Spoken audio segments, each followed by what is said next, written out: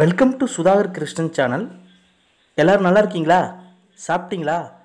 சரி வாங்க வீடியோக்குள்ளே போகலாம் வணக்கம். செடி கொடிகளுக்கு அதிக சத்துக்களை தரும் கடலை புண்ணாக்கு கரைசலை புழுக்கள் வராமல் எப்படி உபயோகிப்பது என்பதை பற்றி விரிவாக இந்த வீடியோவில் பார்ப்போம். ஹாய் யூஸ் வணக்கங்க.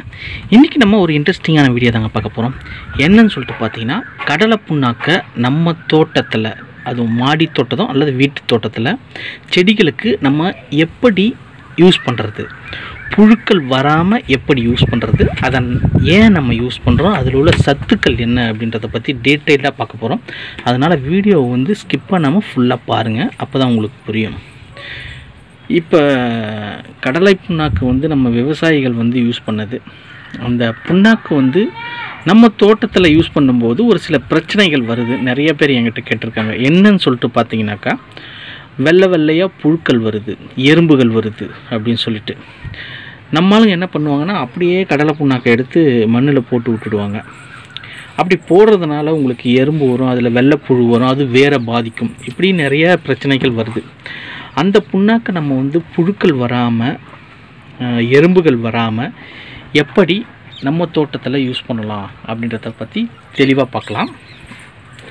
அதுக்கு என்ன பண்ணணும் அப்படின்னு சொல்லிட்டு பார்த்தீங்கன்னாக்கா நம்ம கடலை புண்ணாக்கு நம்ம கடைகளில் கேட்டால் கிடைக்கும். இல்லை இந்த மர செக்கு எங்கே இருக்குதோ அங்கே போனீங்கனாக்கா அதில் நிறைய சத்துக்கள் இருக்கும். வெள்ளை கலரில் இருக்கும் கடலை புண்ணாக்கு.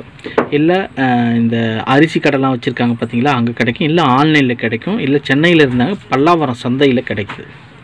அதே மாதிரி வேப்ப புண்ணாக்கு. வேப்ப முன்னாக்கும் நான் சொன்ன இடத்துலையும் அது கிடைக்கும்.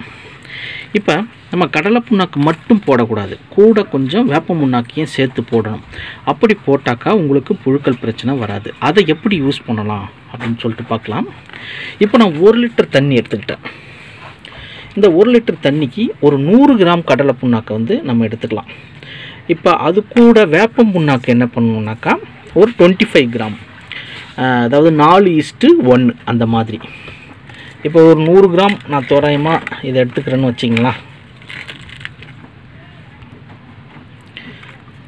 ஒரு தோராயமாக நூறு கிராம் எடுத்துகிட்டு அதில் ஒரு டுவெண்ட்டி ஃபைவ் கிராம் வேப்பம்னாக்கு இந்த மாதிரி ஒரு லிட்டர் தண்ணிக்கு தண்ணி பத்தலைனா கூட நீங்கள் சேர்த்துக்குங்க. இதுக்கெல்லாம் கரெக்டான நூல் பிடிச்ச அளவு அப்படின்றதெல்லாம் கிடையாது. டைல்யூட் பண்ண போகிறோம் அவ்வளோதான் இப்போ இதை வந்து நம்ம தண்ணியில் ஊற வச்சிடணும். தண்ணியில் ஊற வச்சுட்டு மராநெல் நீங்கள் வந்து பார்த்தீங்கன்னாக்கா இது ஃபுல்லாக இது வரைக்கும் உப்பி போயிருக்கும். பயங்கர ஸ்மெல் வரும். அதுக்காக கவலைப்படாதீங்க. அப்படி தான் வரும் அது. அப்போ நம்ம ஒரு அஞ்சு டு அதிகபட்சம் ஏழு நாள் அப்படியே விட்டுடுங்க. ஒரு நிழப்பாங்கான இடத்துல மூடி விட்டுடுங்க. முக்கியமாக இல்லைன்னா இதில் வந்து ஈ கொசு இதெல்லாம் வந்து முட்டையிடும். அதனால் அதுலேருந்து புழுக்கள் வர்றதுக்கு வாய்ப்புகள் இருக்குது என்ன பண்ணுறீங்க டெய்லி ஒரு குச்சி எடுத்து அப்படியே கிண்டி கிண்டி விட்டுடுங்க. இந்த மறுநாள் வந்து பார்த்தீங்கன்னா நீங்களே பயந்துருவீங்க. அந்த அளவு உப்பி போயிட்டு இருக்கும் அது. அப்போ இன்னொரு விஷயம். கடலை புண்ணாக்கு நம்ம வாங்கும்போது அதிலே பூச்சி புழு இந்த மாதிரி இதெல்லாம் பாருங்கள் எவ்வளோ பூச்சிகள் புழுக்கள் வந்து இதை ஓட்ட போட்டிருக்குன்னு சொல்லிட்டு.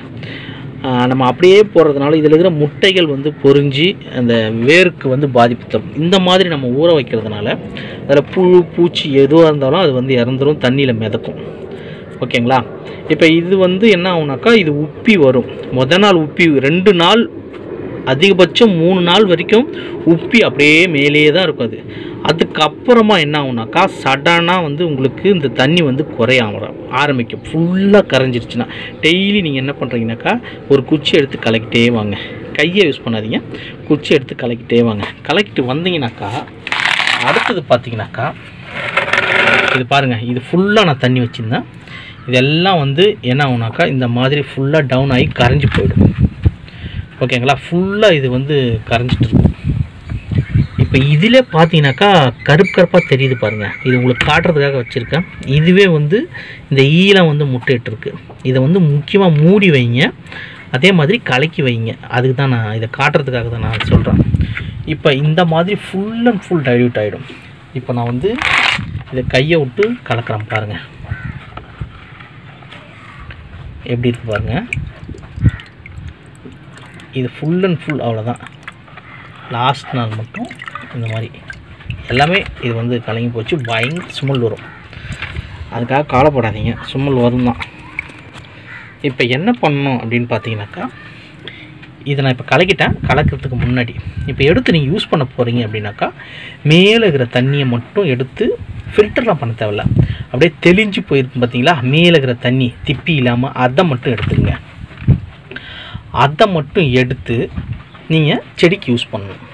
செடிக்கு அது அளவு எப்படின்னு சொல்லிட்டு பார்த்தீங்கன்னாக்கா ஃபுல் அண்ட் ஃபுல் லிக்விடாக எவ்வளோ எவ்வளோ டைல்யூட் பண்ண முடியுமோ அவ்வளோ அவ்வளோ டைல்யூட் பண்ணி எடுத்துக்கோங்க. இப்போ இதுலேருந்து ஒரு லிட்டர் எடுத்துக்கினீங்கனாக்கா ஒரு அஞ்சு லிட்டர் தண்ணி சேர்த்துக்குங்க. ஒன் ஈஸ்ட்டு ஃபைவ் அப்படின்ற விகிதத்தில் இந்த புண்ணாக்கு கரைசலை ஒரு லிட்டர் எடுக்கிறீங்கன்னு வச்சிங்களேன். அது கூட அஞ்சு லிட்டர் தண்ணி சேர்த்து வேர் பகுதியில் ஊற்றிட்டு வாங்க. நம்ம இது வந்து அந்த மாதிரி ஊற்றுறதுனால உங்களுக்கு என்ன ஆகுதுனாக்கா செடிகள் வளர்ச்சி அதிகமாகும் பூக்கள் கொட்டாது காய்கள் வந்து பிஞ்சுகள் வந்து வெம்பாது நிறைய காய்கள் காய்க்கும். இது இந்த மாதிரி புண்ணாக்கு கரைசல் வந்து உங்களுக்கு மூணு மாதத்துக்கு ஒரு டைம் யூஸ் பண்ணாலே போதும். அவ்வளவு எஃபெக்ட் இருக்கும் இதுக்கு. மூணு மாதம் உங்கள்கிட்ட இருந்ததுனாக்கா மாதத்தில் ஒரு முறை மட்டும் இது யூஸ் பண்ணால் போதும். இப்போ இந்த மாதிரி பண்ணுறதுனால உங்களுக்கு வந்து புண்ணாக்கு கரைசலில் வந்து புழுக்கள் வராது. முக்கியமாக கண்டிப்பாக வேப்பம் புண்ணாக்கு சேர்த்துக்கணும். எதுக்காக வேப்பம் புண்ணாக்கு அப்படின்னு சொல்லிட்டு பார்த்தீங்கன்னாக்கா அந்த வேப்பம் புண்ணாக்கு வந்து உங்களுக்கு புழுக்கள் வர்றதை தடுக்கும். வேர் சம்பந்தமான நோய்கள் எல்லாத்தையும் போக்கும். வேரழுகள் நோய் எறும்பு வராமல் தடுக்கும். அதுதான் முக்கியம். இப்போ நம்ம கடலை புண்ணாக்கை யூஸ் பண்ணும்போது கூடவே வந்து வேப்பம் புண்ணாக்கையும் யூஸ் பண்ணணும். அதை இந்த மாதிரி டைல்யூட் பண்ணி தண்ணியில் கலந்து அந்த மேலே இருக்கிற தண்ணியை மட்டும் எடுத்து ஊற்றிட்டு அங்கே சொல்ல மறந்துட்டேன் பாருங்கள் மேலே இருக்கிற தண்ணி முத நாள் ஊற்றுறீங்களா அப்புறம் திருப்பி வச்சிடுங்க அதில். வச்சுட்டு அடுத்த நாள் பார்த்தீங்கன்னாக்கா திருப்பி மேலே தண்ணி வந்து தெளிஞ்சிருக்கும். அதை அப்படியே கொஞ்சம் கொஞ்சமாக மேலே இருக்கிற தண்ணி அதுக்கு மறுநாள் அந்த தண்ணி அதே மாதிரி ஊற்றிட்டு வந்து லாஸ்ட்டாக திப்பி இருக்கும். அதையும் வந்து டைல்யூட் பண்ணி தண்ணி கலந்து லாஸ்ட்டாக எடுத்து திப்பி திப்பியாக இல்லாத அளவுக்கு தண்ணியை ஊற்றிடுங்க உங்களுக்கு எந்த பிரச்சனையும் வராது. கடலை புண்ணாக்கில் புழு வர பிரச்சனை எறும்பு வர பிரச்சனை ஈக்கள் வர பிரச்சனை இந்த மாதிரி எந்த பிரச்சனையுமே வந்து உங்களுக்கு வராது. சரி இவ்வளோ பார்த்துட்டோம். இதில் என்ன தான் சத்து இருக்குன்னு சொல்லிட்டு பார்த்துடலாம். இப்போ இந்த கடலை புண்ணாக்கில் என்ன இருக்குதுன்னு ஃபஸ்ட்டு பார்த்துலாம் நைட்ரஜன் சத்து ஏழு புள்ளி ஆறு பர்சன்டேஜ் இருக்குது அதே மாதிரி பொட்டாஷ் பாஸ்பரஸ் அதாவது மணிச்சத்து. மணிச்சத்து பார்த்தீங்கன்னாக்கா ஒன்று புள்ளி அஞ்சு பர்சன்டேஜ் அடுத்தது பொட்டாசியம் சாம்பல் சத்து ஒன்று புள்ளி மூணு பர்சன்டேஜ் அதே வேப்ப முன்னாக்கில் பார்த்தீங்கன்னாக்கா அஞ்சு புள்ளி ரெண்டு பர்சன்டேஜ் தழைச்சத்து ஒன்று புள்ளி ஒம்பது பர்சன்டேஜ் மணிச்சத்து ஒன்று புள்ளி அஞ்சு பர்சன்டேஜ் சாம்பல் சத்து. இப்போ இது ரெண்டுத்துலேயுமே இவ்வளோ சத்துக்கள் இருக்குது அதனால தான் கடலை புண்ணாக்கு கரைசல் வந்து நிறைய பேர் யூஸ் பண்ண சொல்கிறது தோட்டத்துக்கும். உங்களுக்கு பூ பிடிக்கிற டைமில் இதை ஊற்றுனீங்கனாக்கா உங்களுக்கு பூக்கள் வந்து கொட்டாது காய்கள் வந்து பெருசு பெருசாக வரும். இது பூச்செடி ரோஜா செடி காய்கறி செடி எல்லா செடிகளுக்கும் நம்ம வந்து இதை யூஸ் பண்ணலாம்.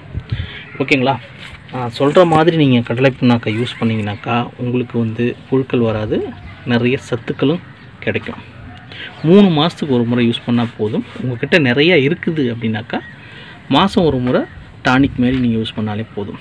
இந்த மாதிரி நீங்கள் தண்ணி அதாவது ட்ரிப்ளிகேஷன் சிஸ்டம் வச்சுருந்தீங்கனாக்கா இதில் கூட அதை தண்ணியை ஊற்றி வச்சு சொட்டு சொட்டாக வர்ற மாதிரி பார்த்துக்கலாம் ஓகேங்களா? ஓகே பஸ் இந்த வீடியோ பிடிச்சிருக்குன்னு நினைக்கிறேன். இந்த வீடியோ பிடிச்சிருந்தா லைக் பண்ணுங்கள் ஷேர் பண்ணுங்கள் சப்ஸ்கிரைப் பண்ணுங்கள் மீண்டும் ஒரு அடுத்த வீடியோவில் சந்திக்கலாம். நன்றி வணக்கம்.